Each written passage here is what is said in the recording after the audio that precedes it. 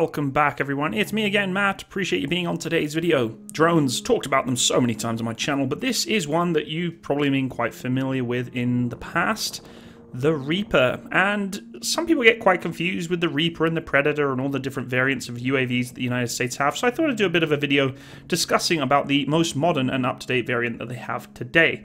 Quick reminder for everyone though, before we get started, if you do want to be notified of any upcoming videos from my channel or you are new to my channel, I would encourage you to click the subscribe button and the little bell button so you can be notified of when I release new content. So let's get into it. Let's talk about the MQ-9 Reaper, otherwise known as the Reaper MQ-9 Alpha. The Reaper is a remotely piloted, medium altitude, long endurance aircraft designed for intelligence, surveillance, target acquisition, and reconnaissance, otherwise known as ISTAR, and certain attack missions. The MQ-9 Reaper represents the cutting edge of unmanned aerial vehicle technology, but the idea of using unmanned entities of waging war in the air isn't really new. Interesting story for you. In the early days of the United States' involvement in World War II, President Franklin D. Roosevelt approved research into a plan to release bomb wielding bats from airplanes. The bombs, which were small, kerosene filled incendiary tubes that operated on a chemical time release fuse, were connected to a surgical clip with a short piece of string, and the clip was attached to a bat's chest. The idea was to cool the bats down into a state of forced hibernation, initiate the chemical fuse, attach the device, load the placid bats onto a plane, and then release them over a target area. Ideally, the bats would seek shelter in buildings, chew through the string, separate themselves from the devices, and then the device would detonate, setting the enemy infrastructure on fire. What actually happened was a bunch of hibernating bomb laden bats be given drops into their death from an airplane. 6,000 bomb rigged bats gave their lives in these military experiments. Fast forward to today, and we have much more sophisticated systems, but it did give some lessons learned. To talk about the MQ-9 Reaper, we must talk about its predecessor, the MQ-1 Predator, which was designed and produced by General Atomics, which rolled out in August 1994. Production of a 100 horsepower version of the United States Air Force and US Navy variants was ordered in 1997 after a handful of pre production aircraft have been deployed for service over Bosnia in 1996. By summer 2001, successful trials of the AGM-114 Hellfire and onboard targeting systems were complete, and the Predator had fired missiles in anger against targets in Afghanistan before year end. While the MQ was being weaponized, General Atomics was working on a new UAV designed the Predator B, the title was in fact a misnomer, since the aircraft bore little in common with the MQ-1 apart from its general configuration. Predator B featured a 900 shaft horsepower TPE-331 turboprop and was designed for a heavy payload of sensors and weapons. The United States Air Force committed to the Predator B program under the designation of the MQ-9 Reaper. Work on the prototypes was well underway in 2001, and the type became available for operations in 2007. Many discussions came to be about replacing A-10s and other close air support vehicles with UAVs in general, but of course this was a completely ridiculous stance because drones can't do everything. Now, one of the things that was noticed, aside from the quick ambush of unsuspecting targets, was that predators don't pack much of a punch. So the MQ-9 Reaper, which was designed to address this issue, was actually a more capable aircraft of engaging for longer periods of time and further targets, which, of course, the Predator did not have that capability. The Reaper was more of a hunter-killer with surveillance capabilities and was more designated as an engagement vehicle than it was in a surveillance vehicle, especially during the times of Iraq and Afghanistan. The 140 mile per hour or 225 km hour speed of the Predator was suitable for hovering back and forth in the sky searching for troop movements and giving the coordinates to nearby fighter jets. However, the 300 mile per hour or 482 km hour speed of the Reaper, on the other hand, is better suited for quickly targeting and destroying enemy personnel and vehicles that are on the move. The Reaper can fly about 9 times farther and twice as high as the Predator, and doesn't require as many fighter jets for backup. It's proved its muscle time and time again throughout all operational conflicts that it's been involved in. One important thing to remember about the Reaper, and the Predator as well, is that the Reaper is a weapon system, not just an individual drone which you see in the sky. Each Reaper system consists of four individual Reaper drones operated by four different flight teams. The whole system alone costs around $45 million just to build, let alone the infrastructure. So it's an extremely expensive program, which is why a lot of people say that it is actually cheaper to use aircraft with pilots in that it is drones, and the cost of value to life is where we start getting complex, and we're not going to talk about that today. The Reapers are deployed in groups of four. Each Reaper, which is similar in size to a small business jet, is controlled by its own two airmen, which are a team located in ground control stations around the world. The teams are actually able to switch control of the drone mid flight, so a team at an airbase in Iraq may be responsible for takeoffs and landings from its base, but then hand over control to a team in the United States. Why would they do this, you ask? Well, remember that the operation of these UAVs are in motion 24 hours a day. It's more efficient to have some teams dedicated to getting them airborne and bringing them back down safely, and others dedicated to fulfilling specific missions. This way, there are fewer teams overseas landing drones all day, and more teams based in the United States who are responsible for the Reaper during the duration of its mission, which lasts normally about a full 24 hour day. A crew responsible for takeoffs and landings may have absolutely no idea where the aircraft has been in the interim period. The crews receive visual information about the Reaper's surroundings by way of a satellite link. The pilot is able to fly the craft using a coloured feed provided by the camera located in the front portion of the Reaper. What's more, the Reaper can transmit surveillance footage directly onto a soldier's laptop in the field if necessary.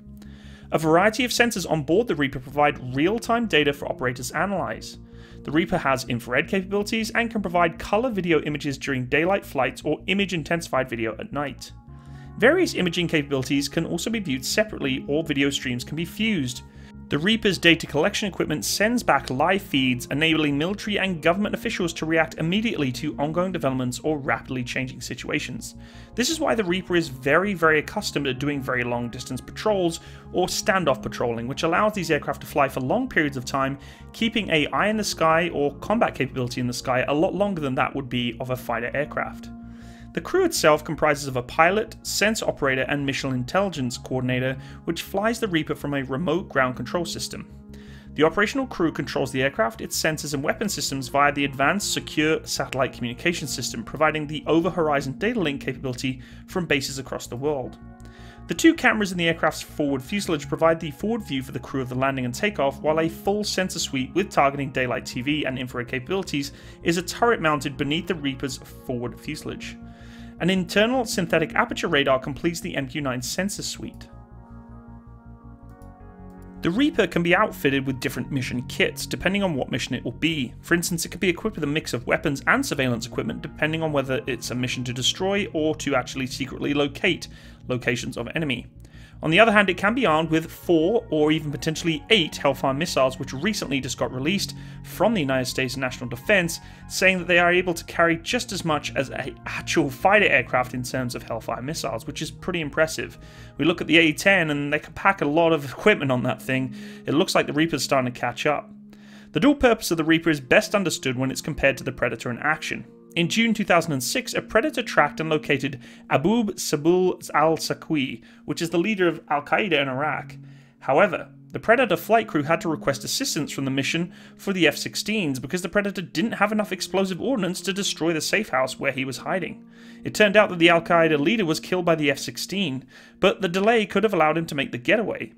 With this type of scenario in mind, the Reaper was designated to eliminate any delay in tracking the target, striking it, and it can do just about everything in between. The UAV's original purpose was reconnaissance, and although its design has shifted to reflect the emphasis on attack, Reapers are adept at high flight spying. This ability can be put to use in several ways. As I said before, there is a lot of capability for ISTAR with this aircraft, but also in terms of air to air engagements. There was a report of a UAV being able to actually engage an air asset, which is something that, you know, Reaper drones and Predator drones would never ever ask to do. But these aircraft can be given the sensors, radar, and technology to actually launch air to air missiles. The Reaper is being used in battle zones and manhunts in both Iraq and Afghanistan today. The use of the weapon systems could be more widespread than that, but because Reaper's missions are carried out completely covertly, we can't really be sure. The aircraft is powered by a 950 horsepower turboprop aircraft with a maximum speed of 260 knots or 480 kilometers or 300 miles per hour, and a cruiser speed of around 200 miles per hour or 310 kilometers an hour. It has a 66 foot wingspan and a maximum payload of 3,800 pounds or 1,700 kilograms, and can be armed with a variety of weaponry, including obviously the Hellfire missiles and laser guided bomb units. The endurance of the aircraft is 30 hours when conducting ISR missions, which decreases to 23 hours if it's carrying a full load of weapons. The Reaper has an extortionate range of 1,000 nautical miles or 1,850 kilometers, and an operational altitude of 50,000 feet or 15,000 meters, which makes it especially useful for long term loitering operations both for surveillance and support of ground troops. But what is the future for this beautiful little drone? Well, as the US Air Force seeks to replace it, the US defense giants Lockheed Martin, Northrop Grumman, besides others, are working on a long range stealthy design concept for emerging of the MQ Next competition. Northrop Grumman has proposed a concept for the SG-2 flying wing for the MQ Next to replace the MQ-9 Reaper drones, with the concept of bearing a lot of resemblance to the firm's X-47B unmanned aerial vehicle. According to Northrop, the SG-2, apart from having similar physical features, also has a shared mission control software called the Distributed Autonomy Responsive Control software program, whatever that may be. But it is safe to say that the MQ-9 for now is here to stay and is doing missions that we may not know about all the way around the world, and literally 24-7, all the time, by someone in a hangar flying this aircraft right now.